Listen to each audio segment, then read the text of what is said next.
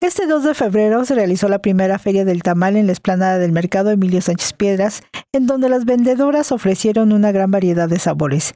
En esta actividad también participaron emprendedores y artesanos de Tlaxcala, quienes vendieron productos gastronómicos, bisutería, jabones artesanales, entre otros. Este tiene la iniciativa de la Dirección de Economía y Emprendimiento Social, porque para darle la, apertura a los, a los ciudadanos aquí presentes de que participen con, su, con sus tamales. Esto es, una, esto es muy tradicional aquí en, en el municipio y no solo aquí, sino que en México. Las y los asistentes degustaron diferentes sabores, pero no faltaron los tradicionales tamales de mole rajas, hasta los elaborados con anís, quintoniles, cochinita pibil y adobo de chicharrón.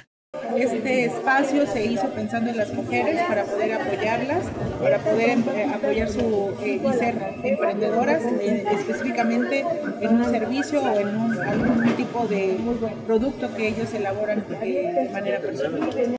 Para Corazón Noticias, Edith López.